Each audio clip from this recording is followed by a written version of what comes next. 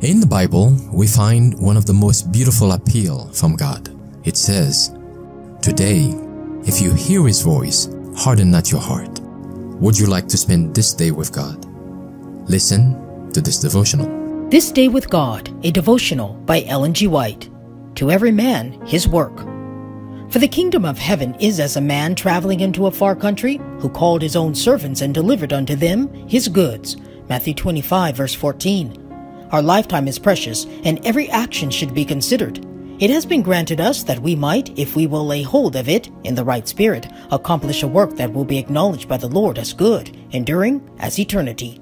It is an intensely solemn thing to live in view of the account we must render to God of our time, our talents, and our influence. These are precious things, talents that are not to be buried in the earth, but used. We are not to hide our talents, they are God's entrusted gifts for wise improvement, that they may accumulate in His service, and that at His second coming He may receive His own with usury.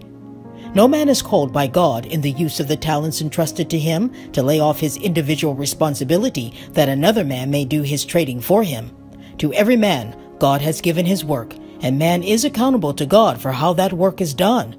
The soul that accepts the great trust that God has given him cannot transfer that talent to another. No man can transfer his influence to another person to serve for him or to be mind or judgment for him.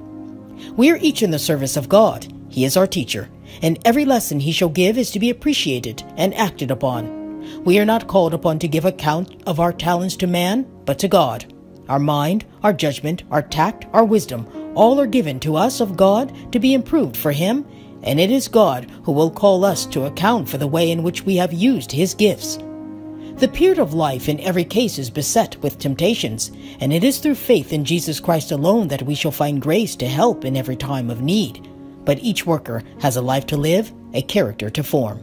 Each period of life brings with the passing year some special opportunities for work, and each advancing year must be made use of, improved to the very best of human capability, this, with the aid of divine agencies, will show improvement, advancement onward and upward, walking step by step in a safe path heavenward.